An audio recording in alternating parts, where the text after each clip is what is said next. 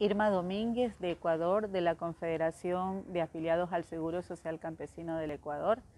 Eh, también hago parte en la Coordinación Nacional de la Federación de Mujeres del Ecuador y responsable de la Comisión de Mujeres Rurales en la CONFEUNAS. Nuestra organización eh, tiene como objetivo principal la lucha por el seguro social, por la seguridad social, y por pero en especial por el seguro social campesino. Un seguro que está amparado bajo nuestra constitución ecuatoriana del 2008, eh, donde nosotros, los que hacemos la agricultura, los que cuidamos la tierra y la pesca artesanal, somos parte de este seguro.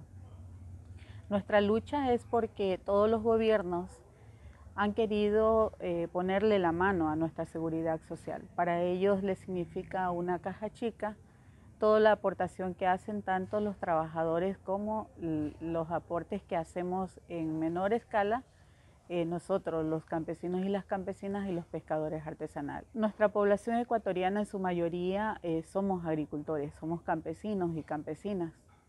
Eh, nosotros somos más del 80% que damos los alimentos de, la de los que se sirven en la mesa de los ecuatorianos y también de lo que sale para, para lo externo. Pero sin embargo, dentro del Seguro Social Campesino apenas habemos 1.200.000.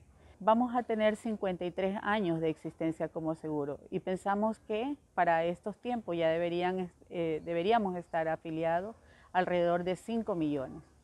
Pero ningún gobierno le ha preocupado esta parte de que esto sea como un medio de compensación ante todos los esfuerzos que nosotros hacemos bajo todas las condiciones porque las leyes a nosotros cada vez nos privan de, la permanencia de estar dentro del seguro y sobre todo a nosotras las mujeres. Por eso ahí está nuestra lucha conjunta. Nosotras las mujeres hace poquito asistimos en delegación a la Asamblea Nacional para poner ante la reforma de la ley de seguridad social, que afortunadamente hay un asambleísta del pueblo que lo ha propuesto y ya ahora va para el segundo debate y fuimos a poner nuestras propuestas. ¿Cuál es nuestra propuesta? Que hay muchas leyes que afectan, que son como la trampa que no, que no nos permiten ser parte del seguro. ¿Cuál es esta? Por ejemplo, la ley de finanzas, tanto del sector público y privado, hace que para nosotros tener una iniciativa productiva, así sea que nos vayan a dar 500 dólares, nos piden que tengamos que tener el RUC o el RIMPE para nosotros poder tributar. La ley tributaria también nos obliga a que la actividad por la que se genera una economía debe ser tributada. Pero si el jefe de familia tiene RIMPE por la actividad económica agrícola que hace, la esposa o el hijo si saca algo parecido, inmediata o automáticamente pierde el derecho a esta, afiliación del seguro. La propuesta también es en cuanto a la jubilación. Hasta los actuales momentos, eh, si el jefe tiene, por ejemplo, fallece y ya tiene una edad de que está cobrando la jubilación y la esposa se queda, se queda desamparada.